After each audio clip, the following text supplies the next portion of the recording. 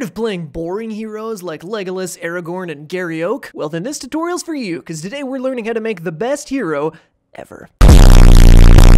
Step 1, choose a wizard. Step 2, give him a badass name. Step 3, take off that stupid hat and put on a mask. Because nobody looks at Susan.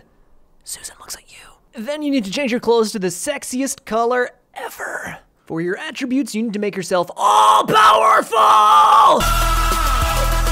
Then evenly distribute your remaining points. Next, we move over to powers. For your first tier powers, you only want to choose things that blow people up. Like fire! And lightning!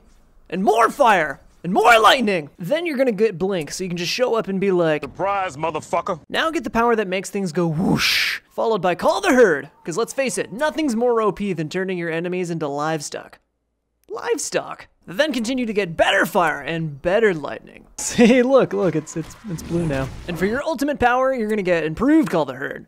Because let's face it, if you can you can make more cows, you're you're gonna do it. You're gonna do it. Do it. And there you have it. Now you've created the greatest hero of all time, and you're ready to go into a skirmish, set that AI to easy, and win.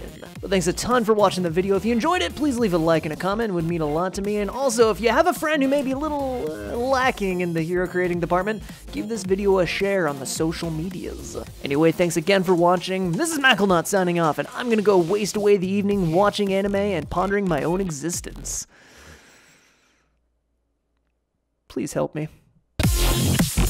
Thank you.